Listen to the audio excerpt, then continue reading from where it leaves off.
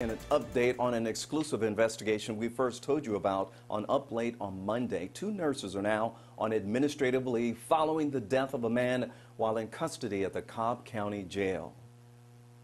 You have to go! You have to go!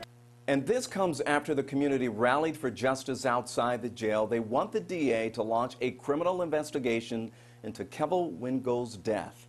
Now, the 11 Alive exclusive investigation was the first to reveal the 2019 video of Wingo pleading for medical help inside that facility. Instead of bringing him to the hospital, jail staff put him alone in a padded room where he eventually died.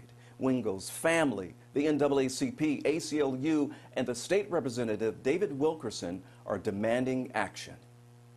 Everyone ignored his cries for pain. That has to stop. It is time for this Cobb County District Attorney to take our pleas seriously and to listen to Kevil Wingo and his family for the first time. We all saw the video. I don't think anybody thinks that video is acceptable. Well, the Cobb County DA says she is now reviewing records related to Wingo's death.